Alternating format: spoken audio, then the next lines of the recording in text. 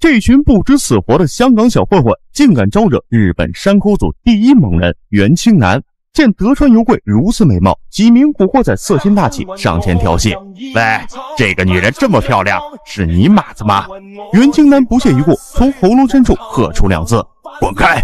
小混混被他气场所震，强装镇定：“妈的，别以为你长得强壮就嚣张，看清楚了，这些都是我兄弟。要不想找麻烦的话，让我们每个人摸你女人一把，就放了你们。”砰的一声巨响，那混混仰面摔倒，飞出数米之远。袁清南出手太快，陈浩南甚至都未看清。一众小混混手持酒瓶一拥而上，袁清南拳打脚踢，没人能扛住他随手一击。只要中了一拳，必定是惨叫倒下。一名黄衣混混见对手太过厉害，抄起一个大花盆，竟冲着德川油贵冲去。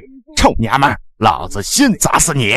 袁清南陷于混战，分身乏术，眼睁睁地看着妻子危难，无法救援。危急时刻，一旁观战的陈浩南看不过去，一记飞踢将花盆踢到了半空。袁清南趁势赶到，纵身出腿，竟将花盆应声踢爆。恐怖的力量震撼全场，一群小混混吓破了胆，再也不敢纠缠，仓皇逃命。袁清南上下打量着陈浩南，兄弟，多谢你出手救我妻子，你身手不错。陈浩南点头回应，没什么，我最讨厌欺负女人的败类。袁清南见他性格直爽，更是欢喜，留下了自己名片。小兄弟够坦白，有空随时打给我，我请你吃饭。数次致电，伊娃始终未曾回应。陈浩南心中忐忑，驱车前往家中查看，却不知伊娃此刻正被芭比按在楼道亲热，哪有功夫给他回电话？芭比精虫上脑，忘乎所以，全然没有发现身后的危险。二郎北爪三冰冷的枪口顶在脑门，他才瞬间清醒，连连求饶。二郎阴笑道：“找你商量的时候你不肯，现在来不及了。”没人敢不给山口组面子。闻得对方乃是山口组，伊娃猛然挣脱了芭比。别开枪，我是贺死先生派来的卧底。芭比反应极快，瞬间明白了自己上当，一把将伊娃锁在怀中。八婆，你敢出卖我？都别动，动一下我就杀了他。二郎面无表情，肥爪三却恶狠狠道：八哥，拿女人当挡箭牌，就能威胁我们山口组了吗？他毫无犹豫，连续扣动扳机，子弹从伊娃额头穿过，留下一个恐怖血洞。他的半边左脸都被轰爆，死得惨不忍睹。芭比被伊娃半颗飞射的牙齿撞得面上生疼，吓破了胆，嚎叫着往天台逃命。楼下，陈浩南匆匆赶到，楼顶滴溜的鲜血正巧洒在面上，尚有温热，一种不祥的预兆油然而生。他全身颤抖，缓步上楼，正见伊娃躺在地上的惨状，脑中天旋地转，险些晕倒。地上散落的伊娃钱包吸引了他的注意，俯身捡起，其中竟有一张自己的照片，而照片背后的一行小字，更是让他悲从心起，放声哀嚎：“陈浩南，我一生中最爱的男人，伊娃。”过去我没有好好照顾你，这一次我一定替你报仇。天台上，芭比手持一根钢管，殊死一搏。妈的，没子弹了吧？让你们见识下香港红棍的厉害！二郎轻蔑冷笑：“红棍怎可能跟我们日本杀手相提并论？”数招过后，芭比不出所料的败下阵来，瘫在地上。北爪三环顾四周，拖死狗一般将芭比拖到了一台钻机之下，按住后脑，启动机器。芭比嘶声哀嚎：“不要！求你别杀我呀！我答应跟你们合作，不要杀我呀！”机器轰鸣，血肉乱飞，北爪三疯狂的笑声在雨夜回荡，更增恐怖。雨越下越大，陈浩南守在伊娃的身旁，见两名日本浪人鬼鬼祟祟的下楼，登时清醒：“站住！就是你们杀了伊娃吗？”北爪三正要动手解决麻烦，却被二郎强行推入了车内，扬长而去。陈浩南追赶不及，眼睁睁地看着凶手离去。山口组，就算我赔了命，也要找你们算账。数日来，陈浩南连番追查凶手行踪，一无所获，心中郁闷，每日将自己灌得大醉。猛然间，他想到了一个人，一定能帮自己一臂之力。袁清南见他情绪低落，嘿嘿一笑：“小兄弟，男子汉有什么困难过不去，尽管说出来，我们是朋友，我一定会帮你。”陈浩南当即将伊娃之仇详细告知，请袁清南相助。袁清南淡淡说道。人死不能复生，恕我直言，小兄弟，你惹不起山口组的。陈浩南厉声喝道：“我陈浩南出来混了那么久，从来没怕过谁，何况又是在我的地盘。”袁清南笑容更是诡异。好吧，想报仇就要看你有没有本事了。你要找的凶手就在这里，动手吧。顺着他手指的方向看去，四大护法正大步走来，牛姑正巧也在同行。陈浩南一眼便认出了二郎，被抓三飞身扑上，一夫亮出手枪顶在腹部，别乱来，否则我一枪打死你！陈浩南盯着袁青南喝道：“袁青南，你们都是一伙的，这件事莫非是你指使？”袁青南面上始终保持着笑容，看在你曾救过我太太的份上，你侮辱山口组，我就不跟你计较了。想继续玩的话。我们奉陪到底。不过我们好歹也算是朋友，我不想看见你送死。保重吧。牛姑彻底慌了神。贺四先生，你可把我害惨了。靓仔男还有八臂手下一定会把账都算在我的头上。不出牛姑所料，陈浩南出动全部手下全港追杀牛姑，只是对方却消失得无影无踪。牛股跑路，山口组失去了散货下游，陈浩南当即命包皮筹措资金，要竭尽所能切断山口组橘子粉市场。小结巴也取下随身佩戴的首饰支持，众人气势高涨，要让那群日本鬼子知道香港的古惑仔不是那么好欺负。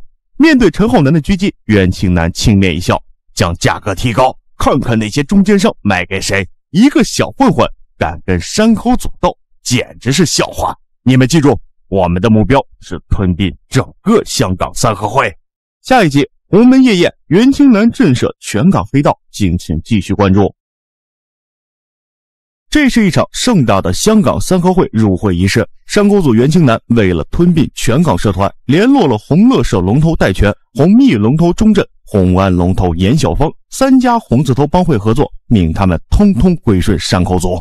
未免引起洪门兄弟不满，袁青南必须在三日之内熟记洪门门规，通过入门仪式拜入洪门门下。洪门帮规极为繁琐，不少老江湖、白纸扇都无法全部了解，没人看好这名初来乍到的日本人。袁青南一身标志性黑衣，神情严肃，大步踏入会场。规矩错漏多指点，莫似高峰独乘凉。望君登堂把茶用，知宾待客各不同。毕竟一杯茶，兄品品真假。相交莫迟疑，敬杯是洪家。本为单刀绝，相逢报日月。好汉不低头，誓把乾坤转。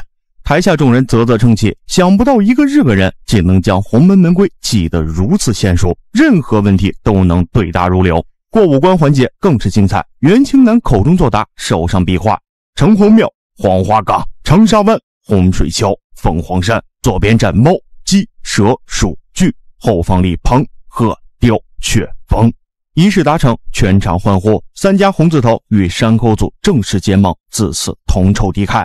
这一边，陈浩南与山口组作对，引来了大逼哥不满。浩南，我收到风声，洪门旗下的洪安、洪乐、洪毅已全和山口组达成合作，只有我们红星不屑与日本人勾结。蒋先生也劝你收手，咱们实力差远了，别再执迷不悟。